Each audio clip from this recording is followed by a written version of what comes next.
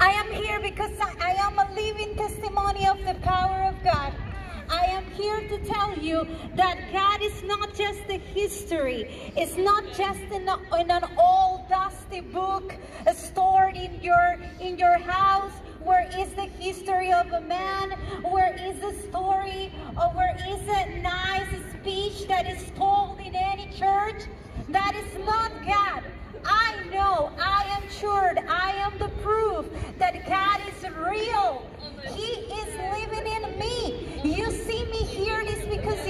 Him. I am alive. I am living. I am little, literally breathing because of Him. If it if it, if we would be without Him, I couldn't be breathing right now. You know why? Because by His power, I am healed.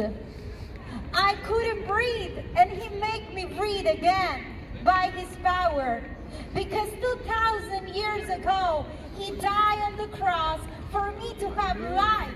And you can tell me, but this is something that happened 2,000 years ago. But I can tell you, this is something that is real today. And this is what you need the most in your life. Because this is not just a tradition. This is not just a religion.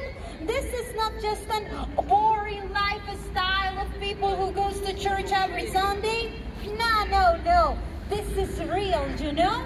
And I can tell you this because I am living this. I was renewed by this blood that was shed on this cross. Of these men that you think is historic? Is Jesus historic? No, he's in me, he's alive. And he died for you to have life. You know why? Because when the man is born, is born, is his spirit is dead. That means that you are walking, you're doing many things, you are going to your job, you're going to party, you're going to the university, you have a good, good life, you, you do good things, you have a good family, but you know what? If you don't have Jesus, you have nothing. You are dead inside of you, and if you die, you know where you will go? Hell.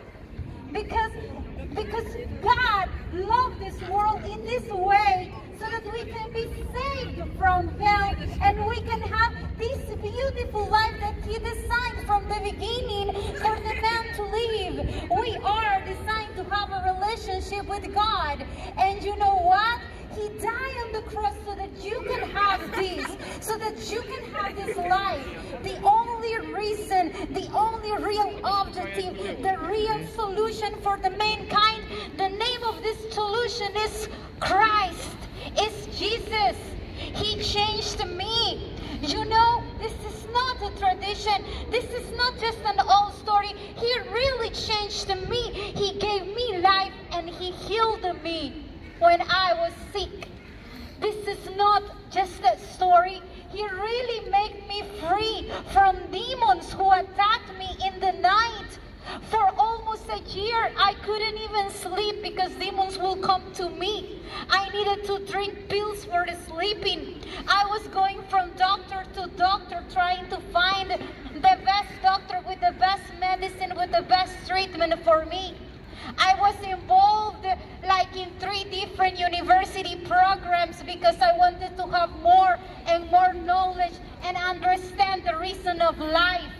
Because I wanted to feel that emptiness inside of me, even though I was going to church since childhood. Because it's not the same going to one church, it's not the same knowing about God or learning the Bible by heart than really experiencing God in your life. So I want to tell you today, you are there, you think you have a good life, you think you need nothing, right? But you are dead. You need Jesus to give you life. You need to come, Jesus. The Bible says today is day of salvation. You need to be born again. Your spirit is dead inside of you. You need to be alive. You need to have life. The only reason, the only real solution and purpose is God.